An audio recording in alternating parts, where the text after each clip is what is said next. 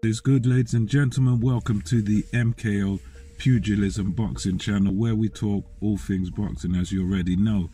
And um, right about now, remember to like, remember to subscribe to this channel.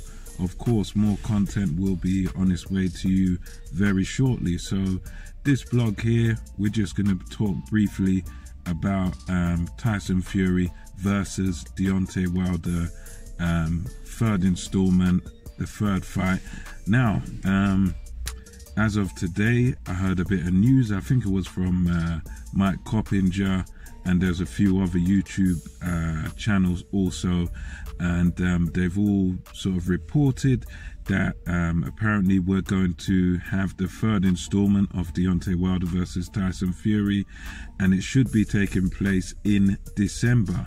And um, I believe Bob Arum was talking about a um, is going to be held in a stadium. Um, the stadium is going to be a large one in America. I think it's one of those, um, possibly the American football teams or something like that. And they're going to host it over there.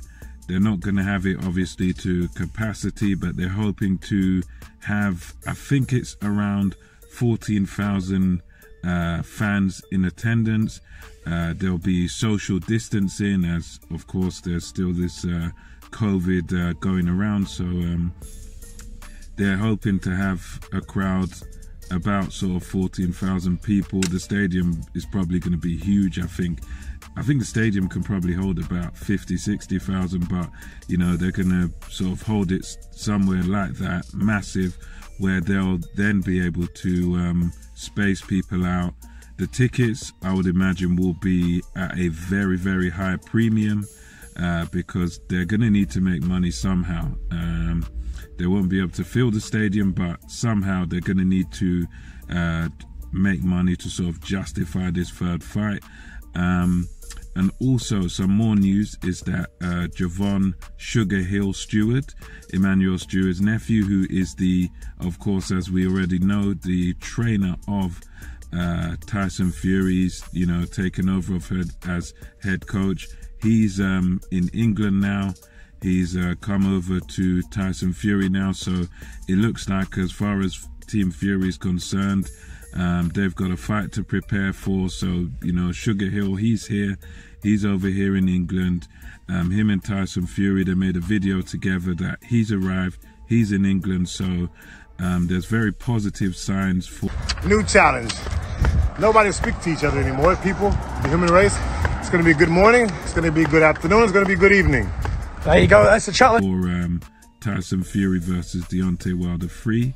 Um, and we should be looking at that fight taking place before the end of this year if all things are um, well. Uh, it's one of those though where um, I can say I'm kind of looking forward to it. Um, it will be exciting, I suppose, to some degree, but I think overall it's one of those fights where we pretty much know um, already what's going to happen. I don't think um, we're really going to see anything that we haven't already seen in the first two fights. I mean, for me, it's it's just going to be another Tyson Fury victory. Um, I would not be surprised if Tyson Fury was able to stop Deontay Wilder again. Um, I think he'll be able to do that. I think he'll be, you know, Fury's going to be taking a tremendous amount of uh, confidence going into this fight, and I don't see anything that Wilder has in his arsenal that he can really um, do to Fury to sort of change the result. I mean, he's got the power, he's got the fight ending power. But um, again, I think with the experience of having the two fights, um, Fury's slightly, you know, Fury's quite a lot better skill wise.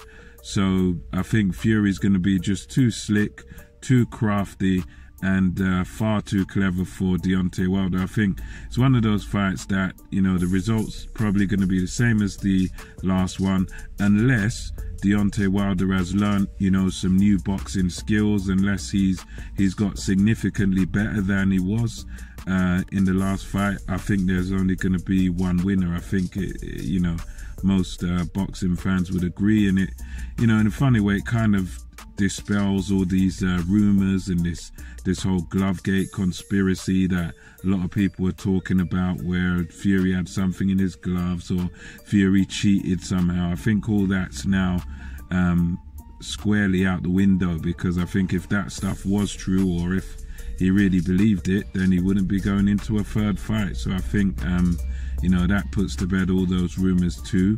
Um, yeah, I think, again, this is a fight, as I've said, um, it's not one that I'm really excited for. You know, it's not one that I'm really intrigued by because I think we've already seen what's going to happen. But it is one that I am kind of looking forward to because I think it will finally just put this whole Fury Wilder thing to rest.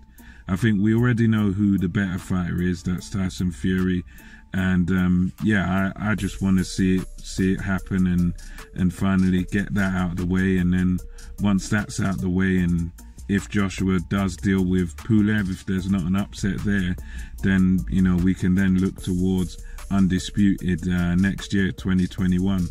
So um, yeah, that's just a bit of news for you guys, and that's just my um, thoughts for now. And until next time, it's MKO Pugilism over and out. I'll see you on the next one.